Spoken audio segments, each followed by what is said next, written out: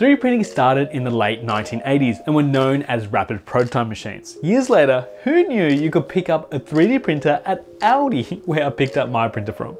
Though these days, anyone can use a 3D printer and can print a variety of useful items.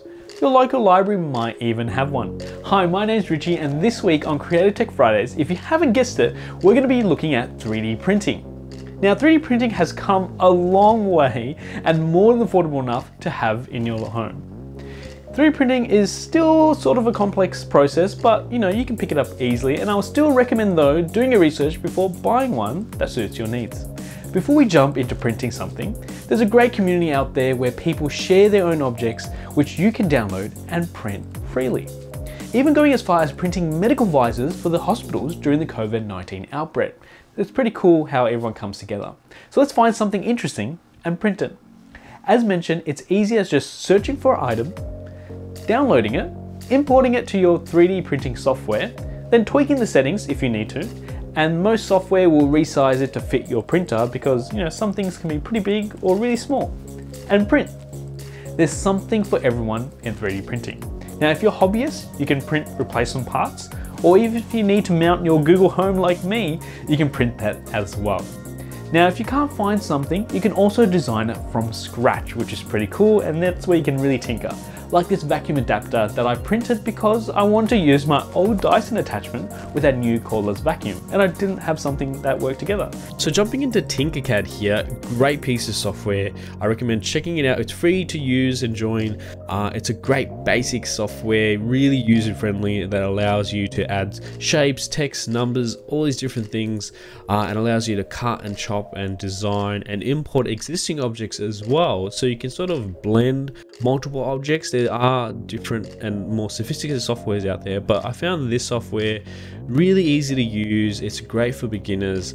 I recommend checking it out, even just downloading if you don't have a 3D printer yet, and then just messing around with it. See what you can do, see what you can put together.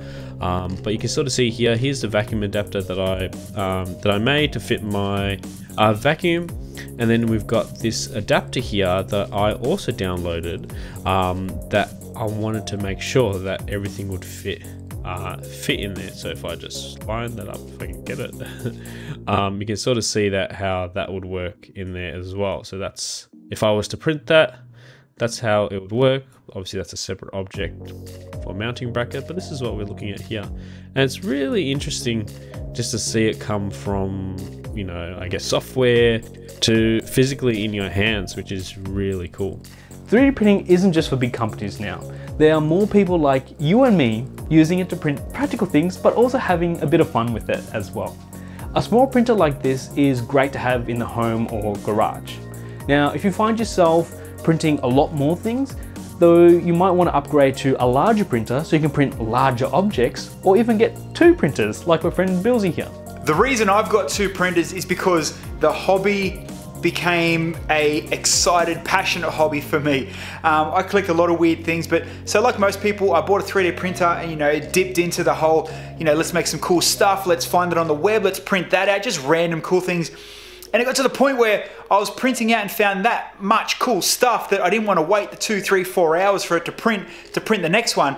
Um, and then when it, the opportunity come up to buy a second printer for a very good price, there was a stage where I'm printing one, printing two, printing one, printing two, just because I wanted to keep pumping it out. Now I've got uh, my, I guess, my favorite printer, which is the Cocoon one here in an enclosure in the garage. Um, I've had the second printer now for a few years. The second one is packed away. Um, I print enough now just to have the one and keep the one, you know, perfected, um, leveled and all that kind of stuff. But yeah, I went out and got two printers just because, you know, I fell in love with the hobby that much. And there's nothing wrong with the second printer. I just don't print enough um, to, to have both running at the same time anymore, but it kind of goes in waves. So I'm sure that's going to get pulled out of the cupboard not too far away and uh, I'll be printing non-stop again. So thanks for tuning in to this week's Creative Tech Fridays. It's been great hanging out with you and I hope to see you next time. See ya.